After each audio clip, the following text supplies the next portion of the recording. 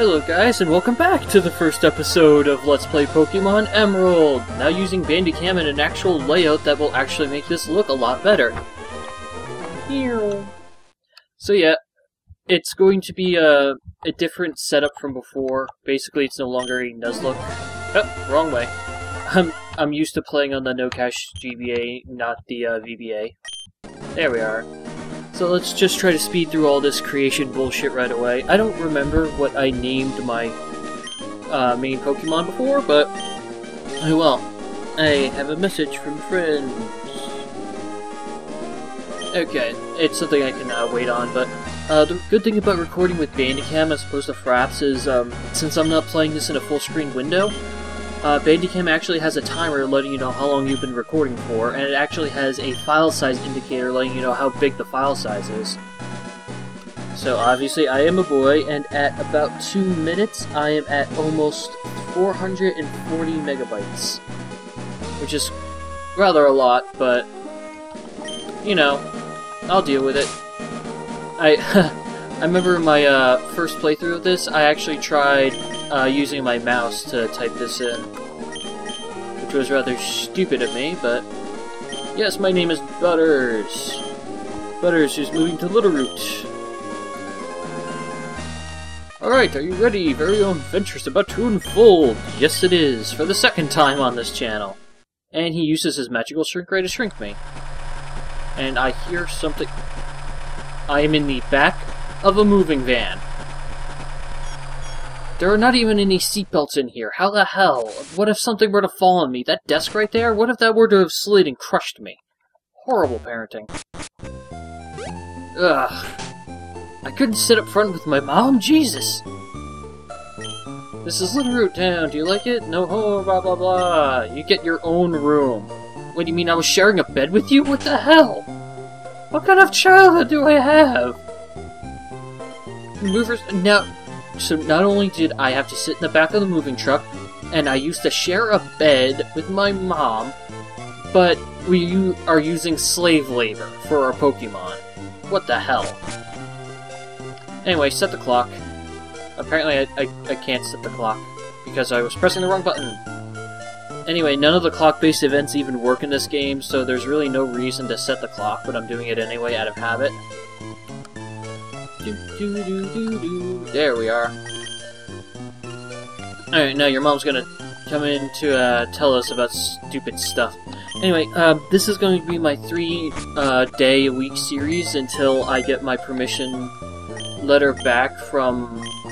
I'll just let you know it's EA Sports. Um, this is going to be uploading after episode 4 of my FTB series, so might as well you know now that my three day a week series that's going to be on Tuesdays, Thursdays, no, Mondays, Wednesdays, and Fridays is going to be an NHL GM mode commentary. But until then, it's going to be Pokemon Emerald. Sure. And not only that, but my father, who we barely see, was on TV and my mom didn't think to tell me until it was already over. Wow, horrible childhood here. Anyway, Professor Birch lives right next door and she tells me to go see him, which I will do. I will be cutting out random battles and any non-essential trainer battles, but I'm not going to be nearly as intense about it as in my Pokemon Heart Gold LP because this isn't a rehash, this is a brand new series. And he's not in his lab, get over here. Professor Birch, away on field work, ergo he isn't here. Wow. I know what field work is, I'm not 10. Goddamn game series. Anyway, let's just go outside, try to find Birch. Hopefully he's not up to anything too ridiculous. Um, um, if you go outside and grass Pokemon will jump... He just said he's on fieldwork, what the... Apparently I have to go to his house, barging in. Yes, I barged in, give me all your money. I'm your new neighbor, give me all your fucking money. A daughter about the same age making new friends. Okay, I can make friends with your daughter in her room and steal her Pokemon. Oh, hey, May. Your Butters. Yes, I am your new, uh, neighbor. Let's make friends on the bed right there. I know I'm a little advanced for my age, but... Oh, were you, were you talking this entire time? Anyway, she just basically gives you the hint that, oh yeah, her father's doing field work and she has to help. And no, we cannot make friends with her on her bed. Which kinda stinks. Uh, scary Pokemon outside, blah blah blah. Okay, let me go see what's going on. Wow, some expert you are. Worst Pokemon expert over there. You know what, you got yourself into this mess. You know what, let me just... Yeah, even though he got himself into this mess and he's about to get eaten by a rabid Zigzagoon, I have to help him. And this is where you get to choose your Pokemon. Mudkip! Oh god, so many memes about Mudkip. Mudkip's actually not bad. When he evolves in his final evolution, he becomes Water Ground type with a pretty impressive move pool and it, the ability to use very, very many HMs. And then Treecko, who's actually also not bad, and evolves into Sceptile, he gets really high attack and is incredibly fast. Unfortunately, the special physical split between moves didn't happen here it's still all between uh, types, which really stinks. Because if that happened, Sceptile would be a great Pokemon. Because Leaf Blade would be ridiculous. That's actually why I'm hoping Emerald gets its own remake, but we're going to go with my favorite series of starters. And our first battle already. Something that's actually skip-worthy, honestly. The reason why I really like skipping the battles in this game is that the battles, as you can see, are kind of slow. The moves are slow, the only thing that goes by quickly is the HP falling. But yeah, otherwise these battles are actually really slow, and there are a lot of them in this game. As you can tell, Zigzagoon likes to troll. And there we are. Now you're done. Torchic gained 17 experience points. Yay, not enough. Whew. Tall grass and suddenly wild Pokemon jumped. You saved me. You're a professor that does fieldwork and you're still getting jumped by level 2 Zigzagoons? Jesus Christ, this place, this Hoenn region is utterly shit! Ugh. But at least he gives me the Pokemon I just used to save his worthless ass. And yes, I will give a nickname to this Torchic, and as with all of my playthroughs, he's getting my real name in Spanish.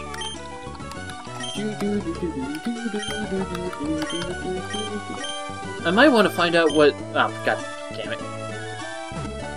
There we are. I might want to find out what my name is in, like, Latin or something. It's probably just Justius. Or something. Sure, I'll go see May, teach you what it means to be a trainer. I know what it means to be a trainer. She's worthless. Anyway, let's go over here and see where May is. Let's go see if we can finally make friends with her on her bed. Nope, she's gone which means she's not going to be here. She's never going to be in her room again, and we will never be able to make friends with May on her bed. God damn it. Anyway, do you give me the running shoes yet, or is that later? No, she just, uh, lets my Pokemon rest, apparently. I wish I had running shoes, because otherwise now I have to walk everywhere, and I've still got plenty of time, so... I don't even think I'll cut out random battles in this episode. Route 101, this guy's nothing to say. You will find Zigzagoons on this route, pretty much, and Poochyenas. Poochyenas are worthless. Oh, jeez. Let's see which one this is. It's a Poochyena. It's a dark type, which by itself should give, like, you know, it's almost appealing in its own right since there are not a lot of dark types. However, it doesn't have good attack and or special attack, even when it evolves.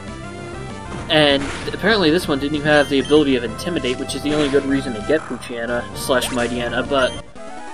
Yeah, not worth it. I mean, you can sort of use them as a meat shield, but that's about it. Um, if I remember, there, uh, wasn't there supposed to be a potion here?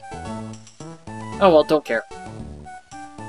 Anyway, welcome to the first town in the game, Oldale Town. There's literally just a Pokemart, a couple of places here, and this guy who thinks he's sketching Pokemon footprints and he won't let you pass.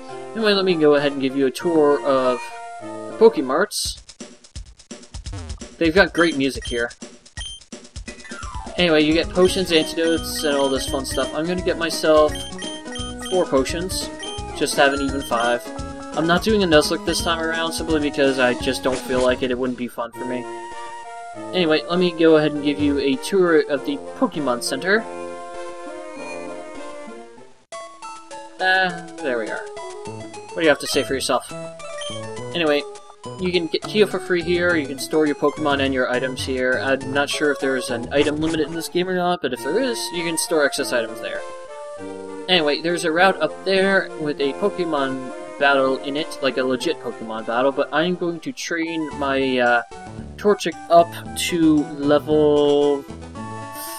What level am I training my Torchic up to? 7. Yeah, I'll train up to level 7. I will see you guys then. Alright guys, we're back and Torchic is now level 7. He, at level 7 he learned Focus Energy, which is okay, I guess. I've never liked Focus Energy. Oh, Jesus. Ah, just a level 3 Poochyena, nothing to be worried about. Anyway, we talked to May here.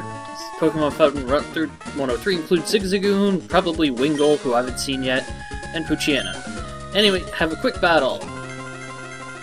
And this is your first instance of a Pokemon battle, and recurring battles, because May will challenge you, I think, four or five times in the game.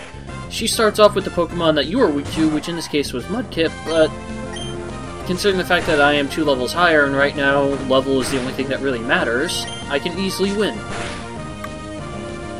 Considering I'm guessing she'll just spam tackle, and because I can win in four scratches where she takes five tackles to win, more than five, wow. That was three, so it would take her six tackles to win. There we are.